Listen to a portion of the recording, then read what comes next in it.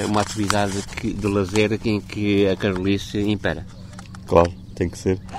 A Carolice tem que imperar porque é uma atividade ainda um bocado. um nichozinho muito pequenino. Está a crescer no nosso conselho aqui. Estamos a implantar já há seis anos. E, e acho que tem pernas para andar. Estamos aqui num país de construtores navais, marinheiros, a, a mais, apesar da, da associação estar hum, ligada às quatro patentes do modelismo, está mais forte no náutico. Onde, e é uma, uma atividade gira, para se explicar aqui. A questão financeira pesa, não é? Os equipamentos são caros?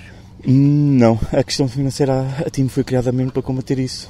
É, a maior parte dos modelos que, que, nós vamos ver aqui durante todo o dia são feitos pelos próprios modelistas. Um, são feitos com materiais de dia a dia, recicláveis, materiais baratos. Onde depois já há os outros mais comprados, já. Mas é assim, não é um investimento assim muito grande. Tem havido alguma aderência? Tem aderido algumas pessoas? Tem, tem aumentado?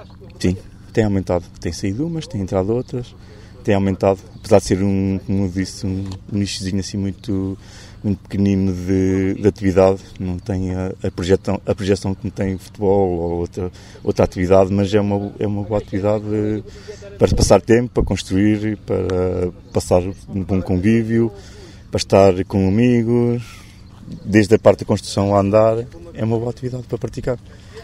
Estando aqui, há a possibilidade de captar novos, novos, novos entusiastas? É isso que esperam? Uh, sim, também é feito por isso. É para mostrar o que é que, o, o que, é que os nossos sócios e os nossos amigos têm, que isto é um encontro nacional, vem pessoas de todo lado do país, e para mostrar o que, que a gente fazemos e para mostrar também, divulgar a, a associação também, ao Conselho e, a, e às pessoas que passam no Jardim Adinô, porque o Jardim Adinô é um, é um local de visita de muita gente de fora também.